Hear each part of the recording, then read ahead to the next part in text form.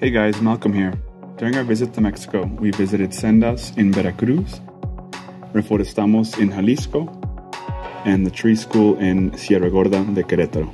Hola, ¿qué tal amigas, amigos de One Tree Planet? Estamos aquí en Cuatro Palos, municipio de Pinal de Amoles, en la Sierra Gorda de Querétaro, un lugar magnífico, eh, esplendoroso Estamos en un proceso de restauración. Esta vez eh, trajimos pues eh, a plantar algunos pinos, eh, pinos embroides, en los cuales ponemos pues la, la, esperanza de varias cosas, de captura de carbono. Estamos trabajando también con la comunidad a, a trabajar en temas de educación, cohesión social.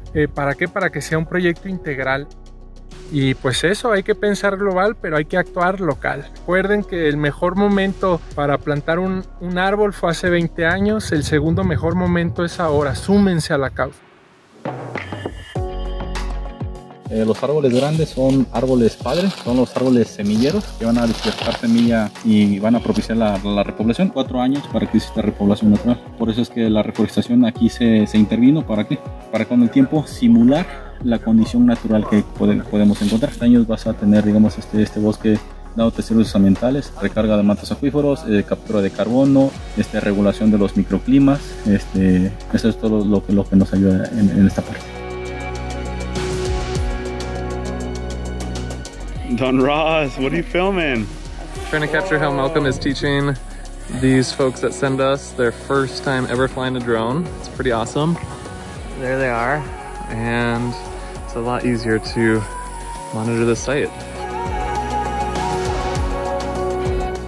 Ahorita estamos en las montañas del Cofre de Perote, en el centro de Veracruz, donde hemos estado haciendo un proyecto de reforestación desde el año 2020 con apoyo de One Tree Planted.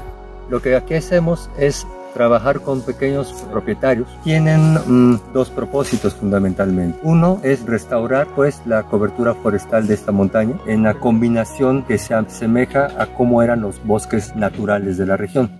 Y la segunda intención de las personas con las que trabajamos es también tener alguna fuente de ingreso. Ellos eh, esperan cosechar parte de esta madera, pero siguiendo un programa de aprovechamiento sustentable.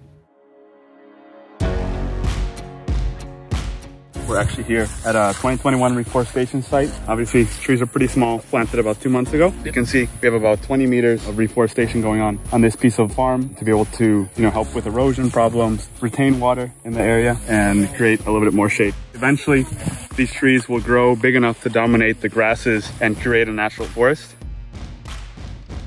Yo, Ross, what are you doing right there?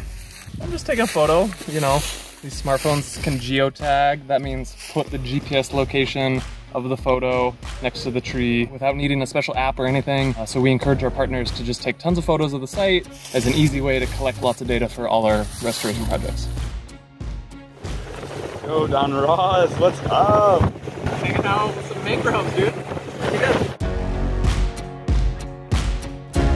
We are currently scoping out a new reforestation site for these mangroves. Here in the Laguna in Las Tuxtlas and they just cleared out a new site. So it's a bit late in the day and we don't want to walk in. So we just decided on flying up the drone. Just take a peek at the site. They haven't started reforesting yet.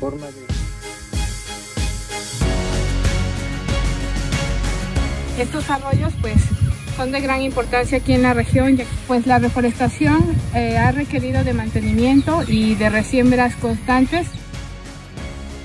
Lograr reproducir las especies, nosotros mismos colectamos las semillas, tenemos un vivero de biodiversidad, nos enfocamos alrededor de 94 especies alrededor de biodiversidad.